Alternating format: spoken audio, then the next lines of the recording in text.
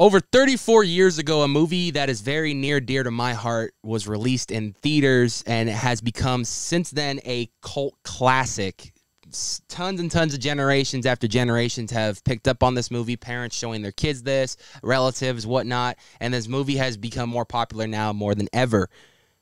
We're talking about Killer Klowns from Outer Space, and we have a very special guest with us, our good friend John Massari. How are you doing today, John? I'm doing good. That that intro is a hard act to follow. Oh man, I I uh, I think I've just been doing this for so long that I just it just it's just second to none to me now, You and got it. You're hitting the post, man. That's I'm- how they. That's how they call it business. You're just hitting the post. I've tried I've tried my hardest. So I mean, thirty four. Can you believe it's been thirty four years since this movie was released? It's it's kind of hard to to really believe that it's been 34 years because um, after the movie was released, there is this lull, Right. and for me, it lasted a long time, and I didn't realize there was such. Um, okay, let's put everything into context. In 1988, it was released 34 years ago, uh, Mhm. like this week. Right. right so 1988 and and the year 2015 or 16 it was the 30th anniversary i got invited to monsterpalooza i had not a clue what the heck was going on i got this frantic call from the chiodo brothers the chiodo brothers are the filmmakers and creators Yep. so their office called me and says listen there's the, the uh, 25th excuse me the 25th anniversary of Killer Klowns from Outer Space. Okay, I want to say it's 2012, 2013, 2013 at Monsterpalooza. Right. And I go, I had, I go, what the hell's Monsterpalooza? He said, oh, you can bring things to sell. What is it a, is it a, um, a garage sale? What do you mean? Like, like old clothes? I don't understand. No, no, it's that we're celebrating the 25th. So it, immediately in my head, I'm thinking it's going to be at their studio in the parking lot Right. having a party and maybe they're going to raise money for a charity or something like that. Right. No, she had no, it's a convention. Oh, you mean like a sci-fi convention? No, a horror convention. okay. And who's going to be there? Everyone from the cast. And so I had, I said, okay, where is it? What time? I went there. Um, uh, Amy and I went there, and I'm going. I, I, I was flabbergasted because there's all these. We were at a table that had the cast, right. everyone just about everyone that had anything to do with the movie and uh, they were selling stuff they were pay- people were paying them money for their autograph and i'm going i don't understand all this i just okay what has happened all this so i was sitting right next to the absolutely delightful uh, suzanne snyder Right. and she goes, So I understand you did the music score. And I said, Oh, yes, I did. I did. So do you do go to conventions a lot? I go, um, I go to like, um, you know, music conventions where they're selling equipment, but I've never been to anything like this. Right. said, what have you been doing? I go, Well, I've been doing commercials for a long time. I, a bunch of times I did for a good like six or seven years, did like high end national commercials with a really awesome music production company and I did documentaries, television shows, a variety of movies. I had no idea this was going on. Oh, everyone loves this movie. Yeah. go, that's really good to know because I love the movie. I was in love with it. I fell in love with the movie when I first saw the the uh, the um, the spaceship in the forest. yes. Oh, beautiful scene. And I go, okay, I know where these guys are coming from. I love this movie now. Right. It's got a, it's got a sense of craziness, but it's sense of magic and wonder and alluring mystery and all that stuff. And I just I just fell in love with the movie. And it was just so sad that it kind of like kind of missed the mark as far as uh, finding an audience early on in its in its uh, life. Right. it's the property has changed hands so many times and i'm so happy that i, I think mgm is partnered with uh, amazon on it now and so maybe new pro- possibilities are opening up. And they were very kind by the way. Now now we come to the- today Right. where i realize you know there is an audience or people that love this movie they deserve something. Hmm so i've been i've been doing things musically with the show i got um fi- uh, about four or five years ago i got the um i bought the rights to uh perform the music score with an orchestra live to film Right. so that was very well attended um in, in downtown Hollywood, like uh, the actual day that it was released, which is actually a week before the 27th. I think it was the the 19th Right. Uh, is when it was was premiered in Los Angeles. Then it was released nationwide on the 27th. So um, that was a lot of fun. I've uh, I've been doing involved in a variety of projects musically, and one of the projects I'm doing is a an event um, for the fans called uh, the Killer Klowns from Outer Space Cosplay Dance Party Yep. which is a combination of uh, uh, the music is like uh, horror metal synth wave and the show is kind of like a variety show where the audience is kind of involved. We're dancing. I have a variety of people helping me um, uh, up on stage uh, dancers and performers and interacting with the audience. Very important uh, we're going to have you know there's people that have tattoos fans that have committed characters from the movie in ink Yeah. They deserve a platform. So you come to my cosplay dance party, and if you want to show off your tattoo, you get a prize. There it is, right there. Oh. So you, you, there's a bunch of people, the same thing with playing air drums, best costume. It's going to be a lot of fun. Oh man! So talk a little bit about that. I mean, obviously, with with this in relation to Killer Klowns from Outer Space, you you had this planned originally for New Year New Year's Eve, right? Yes. And um, killing it. Always always killing it. You're always killing it, man. You're The always killing it. the Omnicron, shut us down. yes, COVID just just shut it down. It was it was supposed to be New Year's Eve, um, but uh, it's giving you time to uh, kind of recuperate from all of that, and and now you, you we're we're finally having the event in June. Mhm. Um, June 3rd and 4th. Yes, talk to us a little bit about uh, how this came together, and, again, you, you did mention it was you know something for the fans to, to keep holding on to that you know that love for that film. Uh, talk to us about what how it came together, and, and what can we expect going into this event too. Well, after the 1000th and one 1001st time, 1001 times that fans asked me, when is there going to be a sequel? I go, you know, I I don't know when there's going to be a sequel, but I can give you something. Would you Yeah. like some new music? How about we have an event where we all get together? I play some new music that's uh, actually it's music from the movie, but it's been expanded and recharacterized and a lot of fun. Yeah, I mean, you when you listen, you go, "Oh yeah, this is Killer Klowns," but it's like uh, been uh, you know, it's John Massari in 2022 as opposed to 1988. Especially with all the technology we have today, right? Yeah. And so I called the Dickies, and uh, they're the band that played the theme song. And I said, guys, you want to play with me on this? You know, I need I need some guitar, I need bass, I need drums.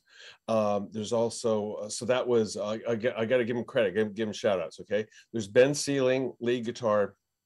Uh, there's uh, on bass. There's Ed Tedder. There's um, Adam Gomez on drums, and then my good friend uh, Jonathan Padilla, who's in the mountains, high up in the mountains. He's a metal guitar and bass player artist. He uh, lent tracks, and then a really good friend of mine, uh, Dan Serper, who uh, also played guitar. So we have Right. live guitar. You got me on all the synths, and me doing like sound design and editing, and so. It's it's it's a new experience. It's a new killer clown experience for people. 2.0 right there, man. You just, Yes. I think you're just kind of secretly hyping us up because you maybe you you probably I think you do know some sequel plans, and maybe you're just you're just you're keeping the hype going.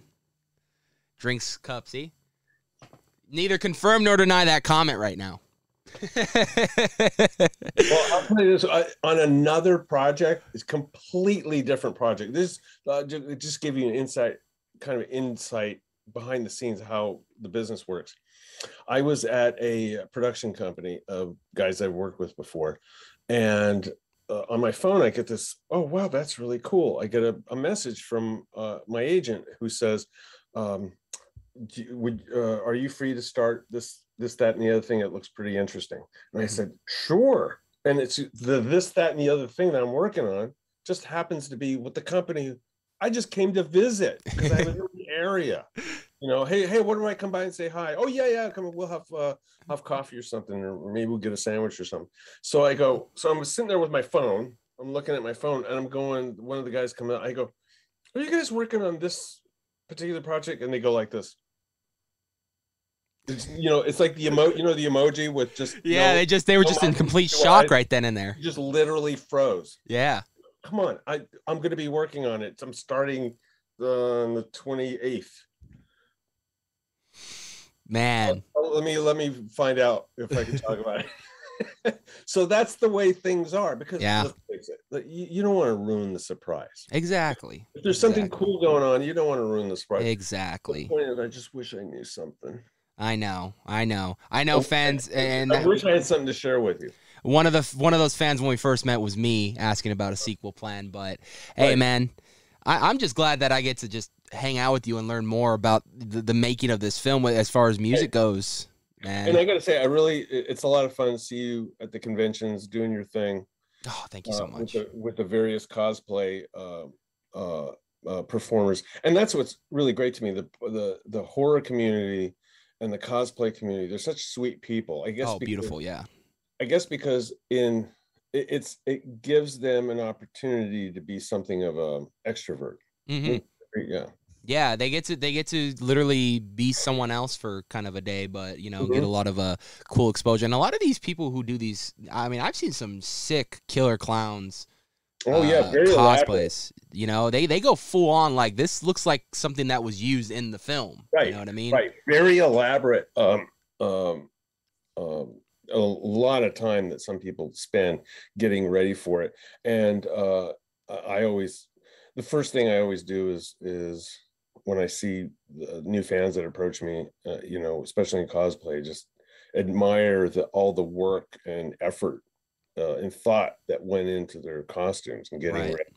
Because I figured they had to get ready. They had to wake up in the morning, get all that stuff together, and get in the car and put it on at the right time. I mean, they can't obviously can't drive around like that, and wait in line for crying out loud. Yeah. Yeah, No, I, I you know what, and, and this is gonna be something I need to tell you personally because you uh you don't realize it, but because of you, so many doors for me have opened in the in the future, you know, and, and things I've gotten to do and stuff. So I really owe you a lot for for taking a chance on us for for doing that podcast. And it was the, you were the nicest guy when we first approached you about doing a, a show. You were like, "Come over, we'll, we'll do a show in person and stuff." This was pre-COVID, by the way, for anyone wondering. This was 2019. there's a And- time where people did, would were able to go outside and talk to each other. Yeah, we were all normal, and, and then then then COVID happened. But it, it, it, I owe you a lot, man, because you really you really did it. You really helped me big time coming up, and and, and I, I will never forget that. I think that's why I'm always so happy when I go to conventions and stuff. I'll be like,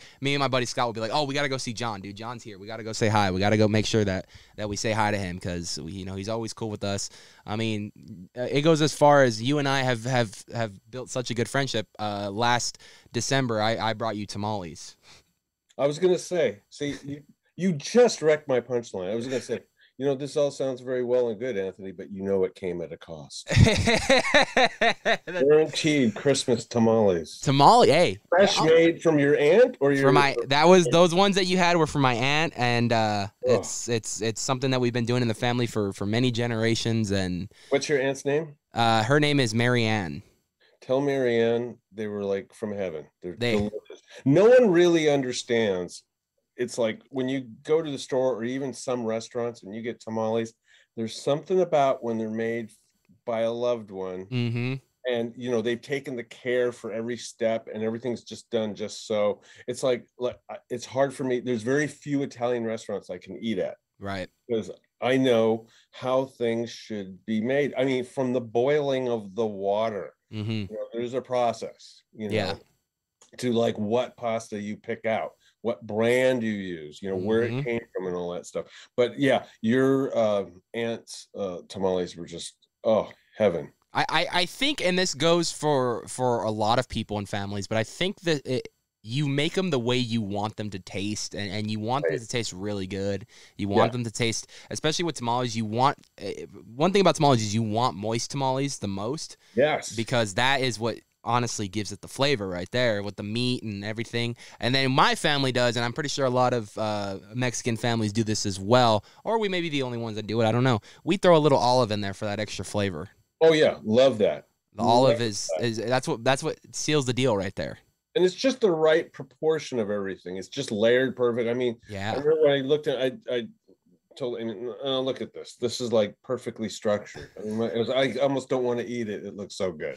I actually ended up giving him the bag to take home that weekend. I'm like, here. I, I was sharing it with everyone. I was like, here, make some uh make some eggs with this. I guarantee you it'll go good you were you were sitting there protecting. oh, These are John's tamales. I go, no, no, everyone can have some. No, they're John's. John asked me in 2019. I'm just fulfilling the promise years later. Well, that's great, man. Oh no. Well, we gotta we do one of these things in person. Maybe you know, maybe when may, Halloween Horror Nights uh, comes back on, we'll we'll go we'll hang out at at uh, Universal Studios. Yes, Hang 100%. just to hang. Yeah. Yeah, I'll, I'll, we'll, we'll take you through the mazes Nights of Horror style. See how uh how you we, we can I enjoy think them. I don't think I can take. I, I may have to get a doctor's note. They're gonna sign the permission slip and everything, right? right, right. Oh man, but back to I mean this I mean 34 years, man, and and eh, you know we talked about you know generations upon generations Mhm. discovering this film. I mean we you and I we see five year olds that will dress up, Little kids, yeah, love this film, right, right. and they come up to you and, and they just they're just happy to meet you and and happy to to meet someone from the you know there, there's just generations upon generations that just love this film. there's a whole community of kids there's um there's scary creepy max who and and, and there's uh twitch the horror kid there is um uh that creepy cool kid Yes. the, there's uh creepy jayla and- Yeah. and they all know they they know they know more about uh horror movies than i do They probably know more horror movies than I do. Yeah I, I i learn a lot from them they just Yeah. know all the little tiniest details and all that sort of stuff and and you know you're right i'm i'm getting people that are gra- grandparents that like they saw the movie maybe at a drive-in or something like that right. it's like they said well you know this is the horror movie i could show the kids we put pop the kids and the grandkids Yeah. put popcorn on and uh uh and everyone has a good time you know oh, 100%. Kind of movie that's like it's a manage imaginative and good intentioned. Yeah, I think it was. Uh, I, there was one night I was spending the night at my mom's house, and I, you know, I, I sleep. I usually sleep on her couch in the front room, so she has the nice big TV.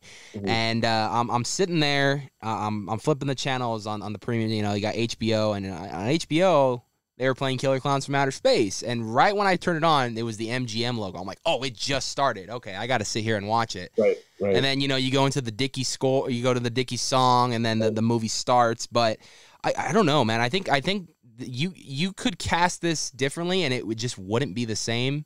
You Mhm. know, you could get someone else to do the music, and it wouldn't be the same. Like there, everything in this movie is perfect the way it is. Like Right. you can't change a thing. Like there was a story I heard, and this is where you come in because I'm, I'm curious to see how you did it. When John Williams usually scores films, he says he's watching it for the first time, just like us. Was Mhm. that how you felt when you were scoring this film? You were watching it for the first time, and you're like, "Oh, this is okay," and, and ideas started Yeah. coming to your head, and, and and everything. How did how did that go for you? How did that process go for you? Well, the only music that was put in the movie was the Dickies song, which was really cool. I said, "Oh, this is a this is a really cool song." Yeah, You know, it like it kind of nailed the the groove of the movie. You it kind of sets the tone. hmm And then after that, there was no music whatsoever, and it was actually kind of it's actually kind of really creepy. right. without any music on it you know so i had to like think how am i gonna how am i gonna you know be creepy but yet imaginative and fun and like i said i love the uh the the tent the mystery the tent nestled in the forest where it's kind of alluring and mysterious and in in some ways very beautiful. So i wanted to keep that uh aspect to it. But basically th- that was it you know i i didn't get my i got i just got the core spirit of the movie. And the Chiodo brothers you gotta i gotta give a shout out to the Chiodo brothers because this movie came from their imagination. Hmm came completely out of nothing. Let's let's make a you know they have such uh, an affection for the classic horror movies. You know there's uh, i know right off the bat there's this king kong and Oh, yeah. uh, the, the seventh voyage of sinbad. Of course those movies that have a great amount of practical effects in them with uh you know uh, uh where, where they they're able to put like a piece of glass in front of the camera and then there's an artist that will paint an entirely different world. So you have a little bit of a grass field here but in the background there would be this awesome uh, uh, landscape Right. you know? So they had that working for them because that's what they they grew up appreciating and that's what they studied all their whole life to do. So uh, a, a big part of this movie's success is it came out of the creative minds of three brothers that had a really love for the genre and the fantastic Yeah. and the and the bizarre and the imaginative yeah. and it's, it's like the movie they would see if they were nine years old right. you know what I mean? and that's what they made They- they made their movie for their younger self they Yeah. were able to do it and have fun doing it if you see the behind the scenes you could you could just tell they're having a lot of fun hundred percent. I mean, you looked at them. If you saw them at CreepyCon, I mm. mean, They're you could good. There's there's kids. ton of people wanted to go see them and then they were making their way you know everyone was going down the line of of all of you guys you know what i mean like everyone was you know and what i found the greatest though is you had the biggest killer clowns banner out of everyone and i was like that is that is gangster you got to respect that right there man Yeah. Well, you know, that artwork was done by um, uh, the Chiodo brothers themselves. right And it's such a beautiful thing. It's it's the it's the um it's the artwork that's on my uh reimagined soundtrack album. right So it's got a, a globe, Earth, and it has the three main characters, Yes. right? Three main clown characters, Shorty, I think Rudy, and I think um either uh, uh, I think it's Jumbo. right It's the other one. It's not um it's not uh Clownzilla because Clownzilla would just eat the other two, you know. So uh I figured I go, that's such a gorgeous piece. I, I just made it into a like a seven foot by seven foot banner yeah that like just fills up the screen and it people just love taking pictures in front of it. Some people didn't even hadn't had not seen the movie yet. hmm I I gotta take a picture of that and send it to my friend who is a fan. right They're gonna be so jealous that uh, I was here and they weren't, you know. i love seeing that banner dude it's it's Yeah. every time i go we go somewhere where you're there it's Yeah. there and i just love it's it's a beautiful banner and you did they did a really good job on the art and you did a good Yeah. job putting it onto that banner i mean it looks perfect it, it really it really is an eye catcher like you can't not walk past it and not notice it you know what i mean Yes. Yeah. Yeah. It's a lot of fun. It's a it's a beautiful piece. Yeah, no, I, I, uh, I for one, um, I've said many times that this is this is easily one of my favorite horror movies of all time. Um, I- think mainly because as just as a kid, you know, just watching it and just realizing like not all horror movies are scary. Some of them are actually fun too. And this one was the one that was that perfect blend of horror meets fun. I mean, the, yeah, the, it's a scary concept to think Right. aliens disguised as clowns Mhm. came down and they're killing people for their own hunger. But at the Mhm. same time, you look at the, what they're doing throughout this film and discovering Earth for the first time and just being on Earth for the first time and everything that Earth has to offer. And they're just kind of like, we don't know what any of this is, so we're going to test it out, but we're going to go on a killing spree at the same time. Mhm. Like, I love that concept. You, just know they're always up to no good. Yeah. and and, and so you know let's fan theorize for a second because we you and i have obviously we don't know what's going on with a potential sequel hopefully but if you saw a sequel today how how do you think it would go do you think it would take inspiration off what you're seeing a lot of revivals of, of uh, horror um, classics come back today? Like you think they would do a, a something for the next generation of, of killer clowns fans? Like maybe instead of of mike and and and them it would be their kids. You know what i mean? You think we'd get like a new generation of, of, of, of a killer clowns kind of thing if they were to ever do a sequel? Well, I wish I had an answer for you. I think the success of a sequel mm-hmm. will will will definitely rely on the imagination of the Chiodo brothers because Right. that's where it started from. yeah No one told the Chiodo brothers. Basically, the film company that produced the first movie said, uh, "You guys did special effects for uh, Tim Burton, and you've done all kinds of really awesome things. Can you give us a movie?" And they said, "Yeah, here it is, Killer Klowns from Outer Space." And they go, "Oh wow, okay." And they did that movie. yeah I think you would have to say they, they still are very imaginative individuals. They're still very creative artists. And I'm sure they can take it to the next level. It- know, in other words, they don't need to say, you know what, I think it's time for someone else to do it. We're kind of burned out. They're not burned out at all. oh they're still going Yeah, the same thing. I'm not burned out on mine, and I, I, I always take a new a new approach to to uh, my work as it is. I don't like like like I had done. Well, I've done several things over the past few years. Each time, I didn't use the same template, so to speak. Right. You know what I mean?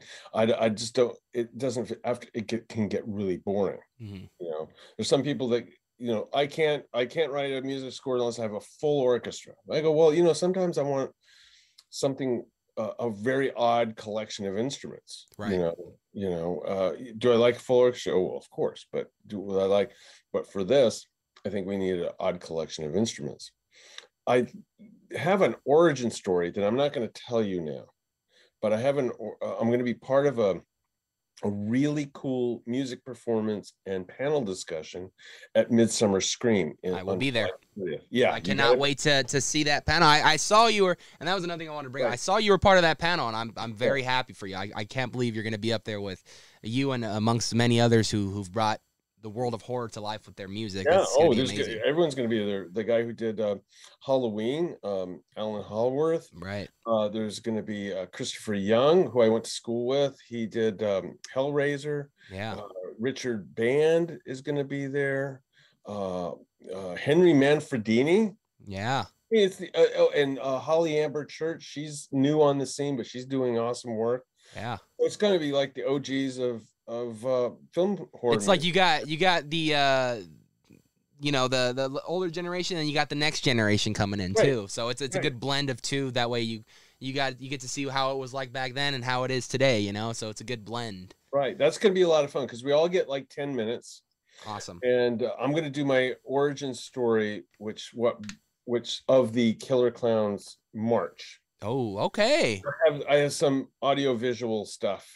To, I'm excited. uh, we will be there at that panel. We will be filming the panel for the world to see after the convention. and I can get you I can get you whitelisted with for the for at least my part. Oh, nice. I can get you whitelisted so that whatever music's played, it won't get you won't get flagged. Oh, for sure. Appreciate that Yeah. so much. Oh man, but I, I'm excited. I mean, that's cool. I mean, the way I always now like thinking about it today, you know, 34 years later and all that. Um, the way I, you know, I'm looking at horror today, and you got some examples like Halloween and you know, It the Clown. You know, when it, when they redid that again, and they they really obviously want to keep these properties alive for future generations to come. You look at a movie like the newest uh, Halloween, and when it came out in 2018 um, it it went from straight the first movie all the way to this movie. Mhm. Um, something like that, I think, would be really cool to see for Killer Klowns to see it for a new generation. Maybe, like I said, they they probably have kids now, and Mhm. their kids are now going to have to experience this. But we're not losing the main characters. Still, they're just going to be Right. guiding them and, and teaching them as to what happened years ago to now how to fight it today because you know there's so much stuff that they're that's in this world today that they didn't have in their arsenal now what if like mike and, and all them became like laurie strode crazy where they they went to seclude themselves into a cabin they were loading up with weapons and stuff getting ready for the next one you know what i mean like like in Tremors, where where you have um, there was there was one that one character that always had the survivalist character in Tremors. right He was in all the movies, yeah that, that sort of thing. Um, yeah yeah, yeah. There's all there's all kinds of possibilities. oh, I mean, man. origin I- story of the clowns themselves you know Yeah, I mean, I I have, um, you know, I'm not supposed to say any of my what my uh, little fantasy origin stories are of clowns, like what planet they come from and all that sort. I'm not supposed to say. I've been told not to talk about it. Uh, in my in in my junior high school kid brain, I'm thinking about oh, they come from this such such a planet. yeah and the reason why they have this kind of technology is because of that. I mean, you can go on forever. oh yeah you, someone can make a career out of uh, uh, being on a team, a committee that's, that's that's building the story of that. yeah But as far as new horror, would you? Uh, let me ask you a question. This prob- maybe this is getting off topic. Would you consider, um, uh, like Squid Games? Oh, 100%. Because that was. Now, horror is an interesting genre. I Yeah. love that series, and I love that score. When I heard that score, I go, "Thank God!" Now, was that. That was a. They made that. That was a Korea Korean show, right? Oh yeah, it was. It was, right? Yeah. And there are people that say you have to watch the Korean version that has the proper uh, English translation subtitles because there's a lot of little cultural things that completely go over people's heads. Right. You know, uh, like there's certain people that will, uh, certain people will talk about certain foods. Well, those that's very expensive cuisine for some people, mm-hmm. and the other people just don't know it. Then, then there's a certain um, accent that people speak with. They can tell those people that escaped from North Korea. Right. So all these um, uh, class and sect, uh, societal um, uh, dynamics going on. Right. Movie, and um, I, you know, so I read up on that a little bit, and, and my daughters are very much into um, Asian culture. They both speak um, Mandarin. Oh, nice. they were pointing things out. They were pointing me in the direction. We should watch it again. Uh, this perspective and i go oh well that makes a world of difference oh it, it you know when you when you look at the the world of horror and you know there's so many subgenres to the to the to the overall genre that it's just like you don't you could categorize you could do something that doesn't look like horror but then when you finally watch the film you're like oh i can see why this is a horror film like there's right. so many subcategories of horror that mm-hmm. it, you know it's just you don't even know there's so much to, to so much out there to look at you're just kind of like I, I am so confused and lost, but I'm I'm enjoying the film, so they they did something right, you know. Oh yes, yes. I like Jordan Peele's movies. Oh, they're fantastic. They're brilliant. They're just yeah. like it's like mastermind next level. Yeah.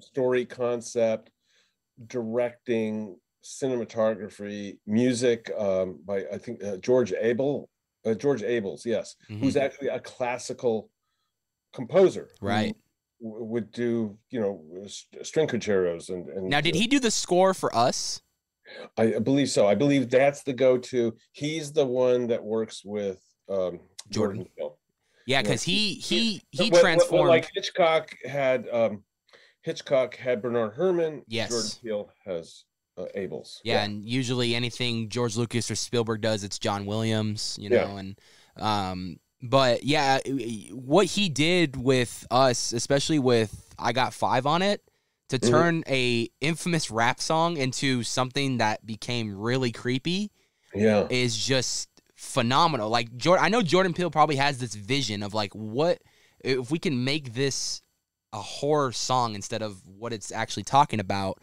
then it, it's it, you know and he does that perfectly like in every one of his films he always has that one song that is loved by millions and then he puts a twist on it and yeah. it fits the film perfectly so no jordan Peele's his film and, and his team they do an amazing job out there you know and, and I, am I'm, I'm looking forward to his next film nope it should be amazing it's looking like aliens so no nope hasn't been released yet no i think it's coming out june or july this summer really yeah okay.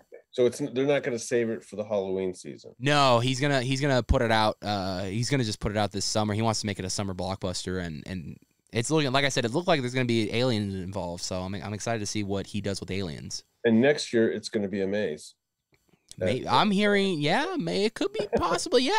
You know, we had us. I wouldn't I wouldn't put it past them. I, I if it's if it's got a lot of horror elements to make into a maze, I'm I'm all for it. And now I'm just curious. After all this time, there's a um, another Stranger Things series. Uh, uh, yes, so. coming out this week actually. Yeah, and uh, it's it's looking like uh, it's going to be the season four. They're they're marketing it as the end of the beginning because they the the um I forget what their names are. The the brothers that are behind the Duffer brothers. Mm-hmm. They always plan this show to be five seasons long. Mm-hmm. Um, so this first half of the season is going to be released uh, May, I think, 27th, and the later half will be G- uh, June or July. But however, those last three episodes or two episodes that they're going to release, they're going to be like movies, like long. Like wow. the, the episode eight is going to be like an hour and a half, and like the last episode is going to be like two, almost two and a half hours long. It's and it's amazing because they're kind of keeping up with the cast growing up. Yeah, so they they keep so up with that. They're going to be in the 90s, right? Yeah, yeah, probably late eighties, nineties, almost now. Because these cat, they, they're they're. When officially did the story start? Because I, I, I, I'm my, my, myself and my wife and other friends were watching and they go, oh wait a minute, okay, that's that kind of tape machine, that cassette player kind of puts it around eighty three. I think know? I think the initial series started 83, 82. Okay. Okay. Um, and then season two was about uh, 83, 84. And I know that season three was all 84, Mm. 80, 84, 85, I think. So, yeah, it's, it's, I, I, you know, what's funny is, you know, you bring up, you know, stuff like that in, these shows. My dad, who's, you know, he's, he's in his 50s now, and he, we, we watch it together, and he will, if there's a toy or something on there, he's like, man, I remember having that growing up, you know? Face it. That's Yeah. great. That's awesome. He loves like because he you know he grew up with all the stuff they use in this show. You know, it's like he Yeah. had a lot of this stuff growing up. So it's just it's it's honestly just a nostalgia thing for him. He's like, man, I remember those those things were awesome back in the day.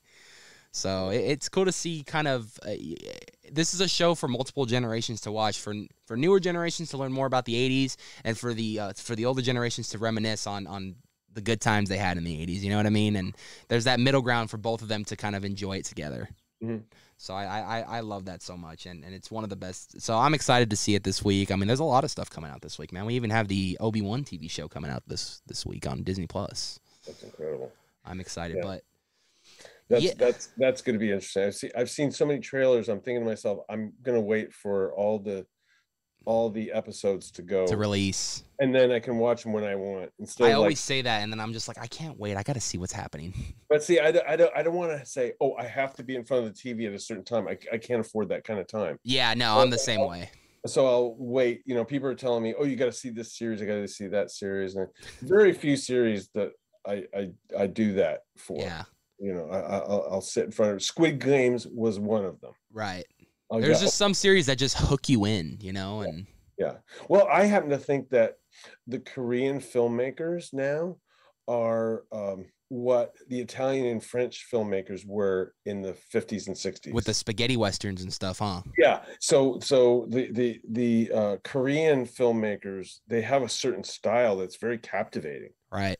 You know. Uh, I mean, did you watch Parasite? Yes, of course. Parasite was phenomenal. I love that story. You don't know. It's like, when is this a family movie? Oh, Well, I was, you know, I and I'm reading along the entire film. You know, Yeah. I'm reading everything they say, but I feel like even if you didn't read it and understand, you would still understand what was going on because oh, it, it just it was everything was right there. Yeah, a lot of dynamics in Yeah. incredible dynamics i mean Yeah. there's so much going on i mean i imagine if i read this script i would be well i can't wait to see this yeah. You're like you're just you, I, it's one of those things where you receive the script and you just can't put it down because you're just Mhm. you're just reading it and you're like, man, I can't wait to see what this looks like But on you film. can tell f- from watching the movie that the script was well structured Oh yeah, that's 100%. my opinion who knows Yeah. what it is i mean there's movies that we've all loved that are classics for instance star wars when they f- was first director's cut was put together it wasn't really making sense Mhm. and uh this the the the story goes and I, i've never heard I, I don't know i don't think i've ever heard steven spielberg talk about it but uh george lucas bought all of his pals in brian de palma uh scorsese um and um, Steven Spielberg had him watch the movie, and they made a lot of suggestions. And basically, his, uh, George Lucas's wife, who was the editor, put the story together. You know, there's Yeah. a film there, but you have to take out all the things that distract people. Yeah, And um, I think that's, uh, you know, I, I think that's what makes a movie successful is to keep the audience engaged on the storyline, so they they don't get lost. Well, I heard that too, and and I heard that um, Brian De Palma was the one that suggested George Lucas add the opening crawl so he, they get an idea of how they're what they're going into as far as story goes. it. They Yeah. really short. Yeah. That was that was cool to hear those stories, man. To see them grow up in USC and to kind of hear those stories, like it just Mhm. makes you think. Like, imagine if you were in the early stages of them designing Star Wars. You know, all these There films was, there and was so much doubt. They had no idea how it was going to go. oh, and there's some of the greatest filmmakers of all had no time. idea that everyone's going to fall in love with it. They Yeah, absolutely did. It's like I had no idea. Well, I was in love with my little movie. right. you know, Killer Klowns from Outer Space. I was in love movie. with it. And then it was very, very frustrating that now I say, oh, uh, you know, oh, uh, this guy did the music for Killer Klowns from Outer Space, and you go, wow, can I, can I say hi? Or, you know, back then it was like when I would say, oh yeah, I did Killer Klowns from Outer Space, it was like cringe, you know. Yeah. Like, isn't that like a dumb movie? I go, well, it's dumb in a creative way, you know. Uh, I- fun in a creative way. I, I will f- defend that movie to the day I die. yeah so so it just took a, a long time and you know we're all still here man. We're all still the Chiodo brothers are still they work every day on a variety of media projects uh you know we're all creating things we're all doing i i mean i've got a, a bunch of interesting stuff. There's one thing i talk about uh, it's not big but it, but it was a commercial I did for a- an amusement park in Japan called Oh, Small. Worlds, where everything's miniaturized. They That's hilarious. So, so it's safe to say that it's not a theme park for me. Why, you might break something. I might break something. I might hit my head on various things. You know me. I'm Well, six you foot don't six. walk through it. You there's like displays that, that, that I think it's like in giant warehouses that people go to. But it's like I think it's the concept of origami, not origami. Well, maybe origami and bonsai. Okay. Miniaturize the plant trees. You know, it looks like an Right. growth tree, but it's like tiny, right? And so I did a commercial for that. That was a lot of fun. That's awesome. Yeah. And uh, but it's funny, a 60 second commercial. They worked on it for two months. Is that funny? Sometimes a lot of things like that takes a while because they need to, they want to perfect it the way they want to Oh, yeah, vision yeah, it. yeah. and- And, yeah. and, and then of course they hired a perfectionist. I can't Yeah. leave well enough alone. You know what I mean? You So- asked me, think you asked me at one point, she says, Do you ever do tweaks on stuff? I go, I'm always doing tweaks on stuff. Oh, 100 percent. Yeah. I think that's I think that's what thrives on wanting to make us perfect though as as people because we we we see the final product of something and we go, it's good, but I think it can use something else. Like uh, Yeah, there's yeah. something they're missing. Like uh, Right. I, I do that to myself. Something that has to come out. Yeah. You know, It's- oh, that thing that I loved over it's onto the left side of the the stereo field is actually kind of getting in the way. I bet if I take it out, it's gonna open it up and it's gonna like really sing. You know, there's that too. There's additive and subtractive. Right. you know. I mean, if you, you make a stew that has too many ingredients, it, it kind of gets lost. It does. The You know. flavors are everywhere. You're just like, what? What yeah, yeah. But if you have like some defined flavors, it's like listening to some like great metal song that has there's a guitar, bass, drums, and a singer. Hmm it's like they all have their space. You know, you stick your headphones on, they all they're all in their own lane. Yeah. And you just enjoy the song 100 percent. instead of being bombarded with a bunch of I don't know what I just listened to. I gotta listen to five times. Although that has its own appeal as well. Something Yep. that's complex with lots of layers. Um, but anyways, we can talk about that forever. so you're gonna come to my thing on Uh, hun- yep, 3rd We got we got our tickets. We're going that Saturday. Uh, we're going straight from Monsterpalooza all the way. Lots of friends with you, right? Yeah, of course, man. We got we got a It's whole we got a big It's not a big venue, but it Right. would be fun if people were pouring out into the street. That Oh yeah.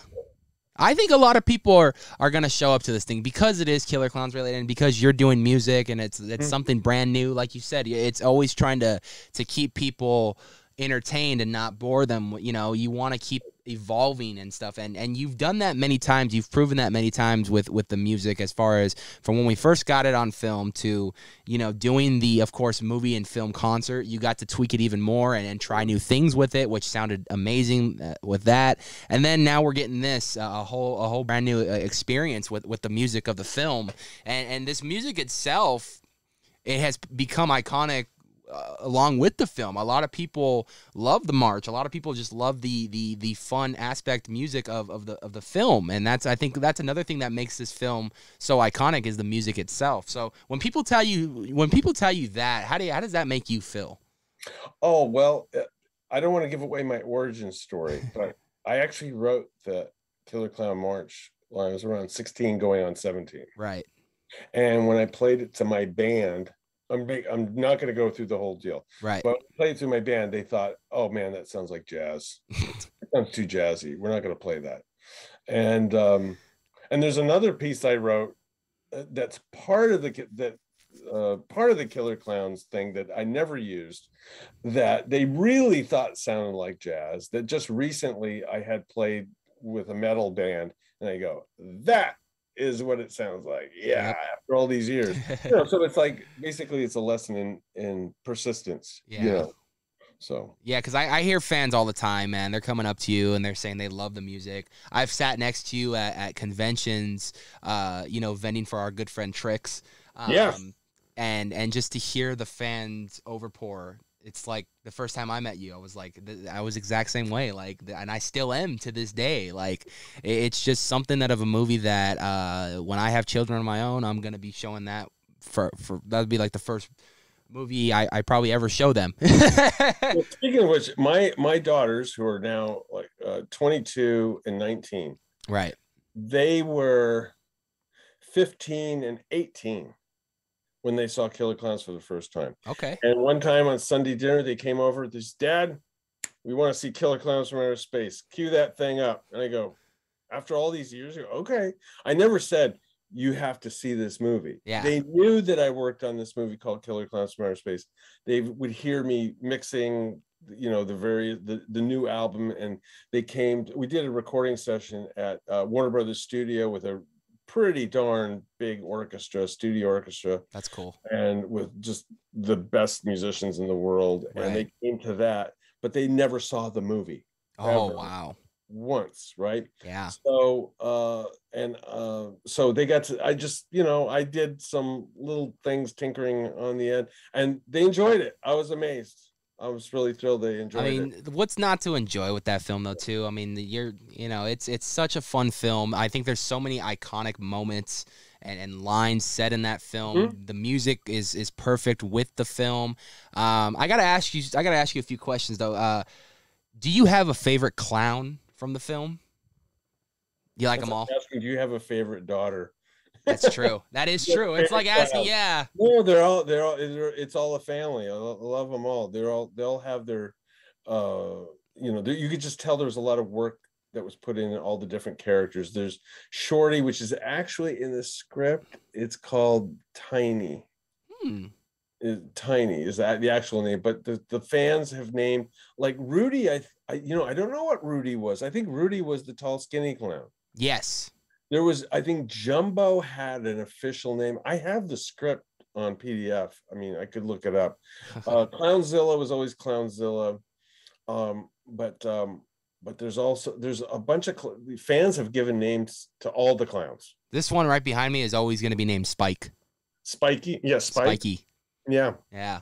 Cause you know, you got that hair and it looks great and Mhm. it's beautiful. Yeah. I, I think I I'm the same way. I love them all, but there's there's that little bit of love to Shorty, man. Shorty is just like the most adorable little thing you've ever seen. right and shorty is uh like well you can as you can imagine it's kind of a metaphor for people that have just had it being pushed around Yeah. and okay, you put me in a corner. Not only that, you're totally dissing me. I'm not going to put up with it anymore. You, you know the f- the fun part about this film to me is every time I show someone who's never seen this film Mhm. and uh when your name pops up in the credits in the opening sequence, I'm like, I pause the film, like, that's one of my good friends. onward with the film. I, I tell them like so every music that you hear, other than the Dickies, you know, song, every all the music that you hear, the score, I know the guy who did that. onward with the film. And people are always blown away by that. Like every time I, I'm like, And- yeah. And he likes my aunt's tamales. And, and he loves the, the family recipe tamales. So you know, I think we're in the in the clear with John. John's John's always been there for us, and we're always going to be there for him. And it's it's it's an ongoing friendship. We, we what, what are we going on now? We're going on like three four years now, aren't we? Easily. Easily. Yeah, it's it's been. I, I, mean, think um, um, Halloween Horror Nights 2019 yes, is when we first hooked up. yeah. We first started talking even after the the, the podcast we shot. Um, we, we started talking more in Halloween Horror Nights, and then I know some co- some COVID time passed, and then uh, convention started, and we, we we met each other once again, and it, it's like no time had passed. We were just catching up and reminiscing, and it's it's been an it's been an amazing journey, my friend, and I'm I'm excited for what's what's to come for the future. So that being said, the future. What, Yeah. what do we have in store? Uh, either with do you have anything planned as far as appearances go? Obviously, you're doing. We have uh, June third and fourth. We have your your Killer Klowns dance party happening with a whole new. Third Uh, and fourth, yeah. Yeah, And then there's uh, July 31st. I'm at um, Midsummer Scream at the uh, Long Beach Convention Center. That's a pretty big one. yes, That's like I've always the- defined it as the Comic Con of horror. Yeah it's it's pretty big and we're having like i said we're having that big um um uh, panel discussion. I'm also going to be there all weekend, uh, meeting fans, and um, you know, I, I, I'm there's more goodies that are coming out. Mhm. Um, so I'll have some of those. Uh, and what we do is uh, when you come to my table, uh, a portion of the money goes to help a um, children's youth orchestra here in Glendale. Called So I thought, uh, you know, it's funny you brought that up because I I uh, I have donated to that a few times. Yes, thank you. And Thank- and I and I continue. I will continue to do it. yes, Let me thank you very much. unplug this console though. But uh, this is my Xbox. Oh and wow! this is this was the sticker that was for the charity and it sits beautifully on my Xbox that looks perfect. and it's the only sticker that's going to be on this Xbox because this is one of my favorite films and I It know that like this product. yeah it looks like actual hardware product. I know right Movie. can we get a can we get some exclusive limited edition maybe for the 35th anniversary can we get some Killer Klowns from Outer Space Xboxes made That'd be cool. That'd be dope. and then we could do like a nice little auction you know what I mean like Yeah. let's let's get the cast to sign it and we'll auction it off for charity That'd be great. I think it'd be And amazing. There are other things happening in other parts of the country that um, they have there has a date hasn't been set yet, right. But there's going to be other places, and I'm doing uh, some collaborations with some other um, Instagram uh, influencers that are in the horror um, uh, community, and uh, be really be thrilled to travel to Europe. oh Do some do some. I bet the fan base out there is pretty big because overseas the fan base for stuff like this is is really big, Well, I understand it's really big in Brazil. right? and it's really big in definitely the UK Yeah, and I, I think sporadically around i- throughout Europe. But I'm sure I bet you know UK for people in Europe is hard to get to. So I would say even too. Uh, speaking of overseas, I think this movie would be really big in in Japan as well Oh my goodness, yeah. Because they Japan loves they love sci-fi, they love monsters, they love horror. So I would say this movie is huge over there too. Oh yes, yes. There's there's been uh, and I know that because I get statements. there you go, there you go. So 35th anniversary is next year. yes. Um, about ten year, almost ten years ago, but more like five. Uh, I am lost with time with COVID. Ever since It was COVID, I just five, five, it's five years ago. five years ago you did the concert to uh, the concert film live Actually, concert four, four years ago. four years ago in Hollywood. Mhm. Um, thirty We're working on it. We're working on it. I, we- I would like to do something nice and big for the 35th. I gotta I gotta go to this one this time. I'm not missing this one. I, I'm going to need some help to take it to a bigger level than I took it because Right. I a, a, thou, a thousand seat venue, and um, I would like to get some a larger venue that maybe has some property around it to have something like a like like you know a, a mini convention where the film is part of the the convention. So we'll we'll see. I'm, Yeah. talking, I'm talking to a number of um, organizers that organize big events Yeah. Uh, it, it would be a lot of fun. I, I, yeah, I, I, I'm so sad that I got, I didn't get to see it last time, but I, I don't want to miss it the next time it comes around. Mhm. Um, and, and definitely something that's been on my bucket list of things to see, especially just in general to see a concert and, and, and film production. I think that's such a, a genius concept for music lovers, for lovers of the film, and, and to see a lot of like they just did uh, last Halloween, I believe they did the or last Christmas they did Nightmare Before Christmas, and Danny Elfman came that- out. Oh, that was a huge success. Yeah, that was that was. I mean, stuff like that blows me away. Billie Eilish was there playing Sally. I mean, there were so many great uh, guest talents there that were all performing and, and bringing this movie to life. And obviously, Danny Elfman's known for for for the voicing uh, Jack Skellington and stuff. Mhm. So it- it's it's really cool to see um, things like this. I think it, it really immerses people more into the film. Right, right. It's so it's just another experience that that elevates the film that you're watching. And I know that everyone everyone I got nothing but great feedback. The only bad feedback I got was was from the Sci-Fi Channel, and I think that's because the deal fell through. oh, see, they're just they're just salty. Yeah, yeah, exactly. But everyone else was, you know, uh, everyone was there. It was just wonderful. Oh, I should also mention at my um, June 3rd and 4th cosplay dance party, we got Buster Balloon Ooh, Cadwell. The guy, the he's like a world-renowned balloon folder. He's going to just be there cre- creating I- all sorts of things for everyone. I feel like it's very appropriate because of this guy right here. Yes. when he made his dog. dog, right? Yes, Yeah. and, and you best knowing that I, I'm gonna have to get me a dog made and Yeah, walk it around on a little a hat, or he, I think he, he he has he can just whip up just about any character from the movie. That's It's- awesome. He loves making the um the popcorn candy guns. Oh, that's awesome. I am super excited. This is going to be a lot of fun. There's a lot of friends that are going to be there. I'm super excited to, to hang out with, and and you're being there. You're going to be there debuting this new this new set of music, uh, reimagined music for the film, and I'm super excited to see what it sounds like, what what the vibes are like, and, and I'm I'm excited to see what people think about it because this is this is uh, something that was. You know that we, we unfortunately had to cancel for New Year's Eve, which would have been awesome, but it's okay summer parties are just as fun as New Year's Eve parties, in my opinion. Right, So, absolutely, absolutely, man. and it's it's the first thing kicking off summer, the first weekend in June. oh yeah, off and it- summer. it's, a week right after the 34th anniversary, so it's Yeah. perfect timing. Perfect timing. So if you guys, uh, I believe tickets are still on sale, right? Yes, of course. Yeah. Okay, so we're not sold out yet, but let's let's get it sold out so we can we can have more of these in the future. But uh, tickets are on sale now. Um, you, I know you're on Instagram. You've been promoting it a lot too. Mhm. Um, so go ahead and you can follow John Massari on Instagram, um, and, you'll see a lot more information about it uh, on top of the the little preview that we we gave you today. But 34 years, man, I that that is just that's just shocking. That's that's that's older than me. That'll be at. Um, that's right. It is older. that is at uh, Zombie Joe's Underground Theater in Yes. uh, North Hollywood, California. North Hollywood. No, what better place to have a party? Instagram, you'll you'll you'll you'll see a link to to Zombie Joe, and uh, it's it's easy enough. Right. It's, also on Eventbrite. Um, there's also something called um, uh, that uh, that virtual event. Yeah. You know, it's it's kind of like event a different version of Eventbrite. So Right. I, I'm excited, man. I, I and I can't wait. This is something I've actually been excited for since you told me about it at, at Halloween Depot. Mhm. Um, and can we give a shout out to our friends over at Halloween Depot too? They are just Depot fantastic people.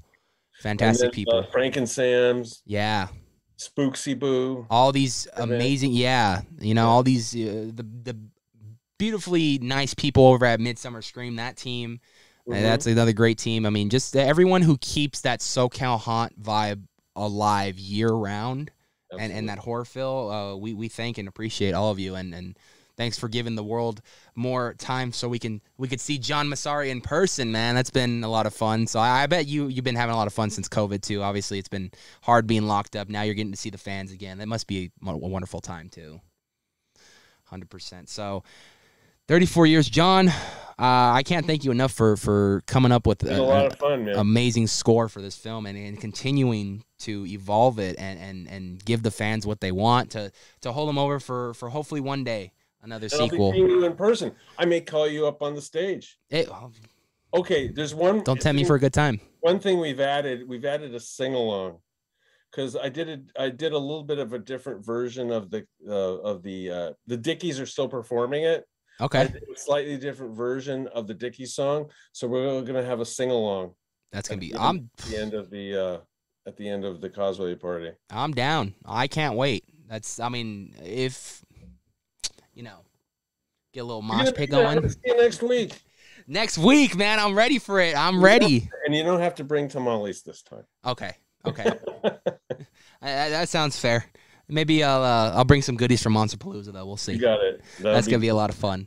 okay, man. It's gonna be great. I can't wait. I know the fans are excited. We're all excited. Thank you so much for joining me. This was actually, believe it or not, John hit me up to do this, and I was hundred percent with it to do a 34th anniversary um, podcast, and and I am glad we did it. We got to talk more and and to get some some info out there. So.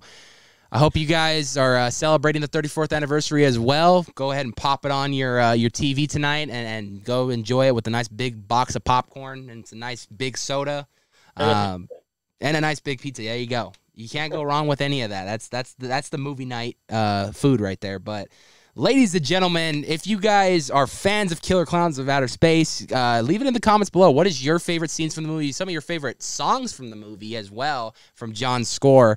Um, definitely leave them in the comments below. Give that video a like and hit that subscribe button with that bell notification be where every time we put up a new video.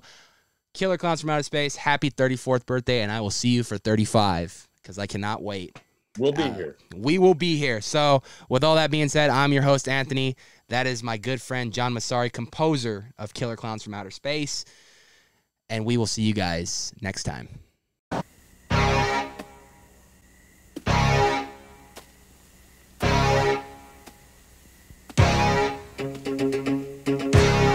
Call Modi.